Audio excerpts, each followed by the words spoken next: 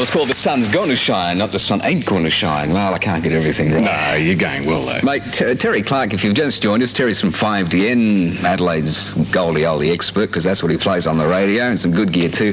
I was reading the paper a night or two back that the BGs Gees, uh, big heading Gees to split. And when you read into it, the Bee Gees are going to split up for 18 months, and they're going to do their various Do their own thing Yeah, the while, solo album and all that. Really? The idea is they're going to get back together in 1984, but of course the Bee Gees go back a long time. Oh, they certainly do.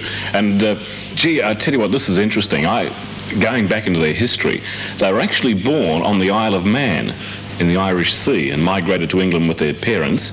And as far back as 1956, they had a group, the three of them, called the Blue Cats. And they, it's incredible, really. Then they came to Australia and they appeared on Six O'Clock uh, Rock and Bandstand, but they had a bit of trouble back in those days with the advent of television in Australia. There were certain laws governing minors appearing on TV, and because they're only young, uh, they couldn't get the exposure that they obviously really wanted.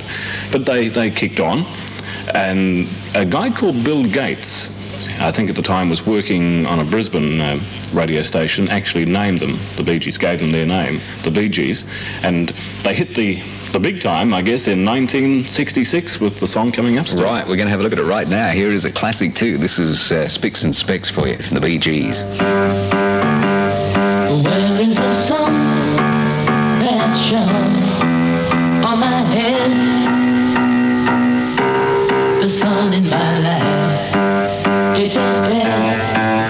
Where is the light that would play in my street? And where are the days I could? I could. Where are the girls I left far behind? The and the specks the my mind. Where is the sun that shone on my head? The sun in my life. It is dead.